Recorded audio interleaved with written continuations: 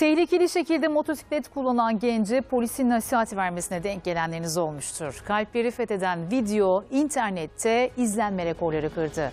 Babacan tavrıyla herkesi duygulandıran trafik polisi Gökhan Yıldırım yaşananları bakın nasıl anlattı.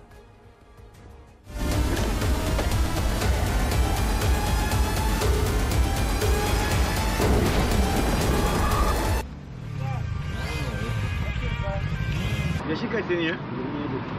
Lan senin amcan yaşındayım ben. İçinden geçen sana söyleyeyim mi sana? Şöyle iki tane sorunu sağ sola çekip ayıtmak istiyorum. Neden?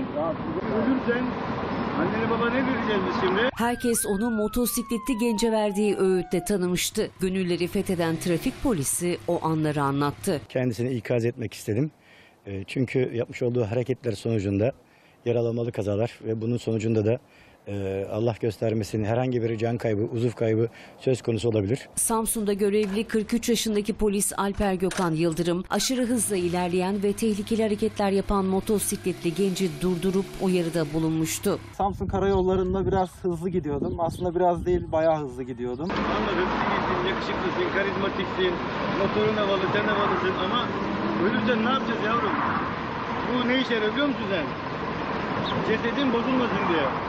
Yoksa ölmeni engellemiyor yani. Hayat boyu telafisi mümkün olmayan e, neticelerle sonuçlanabiliyor.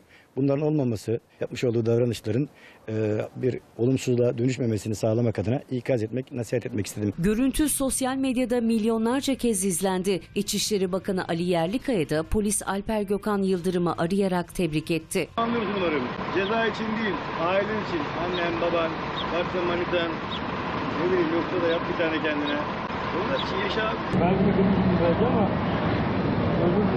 Nasıl terörle mücadelede insanlarımız taviz vermiyorsa, ihlallerle mücadelede taviz vermeden kuralları harfiyen uygulamak ve insanlarımızı mutlu, güler yüzlü bir şekilde yaşaması için çaba sarf ediyoruz. Bir baba gibi bana böyle öğütler verdi. Gerçekten duygusallaştım. Yıldırım bu kez tüm gençlere seslendi. Lütfen kurallara uysunlar, ihlal yapmasınlar, ihlal yapmasınlar ki düğünlerine gidelim, düğünlerine halay çekelim, birlikte kol bastı oynayalım.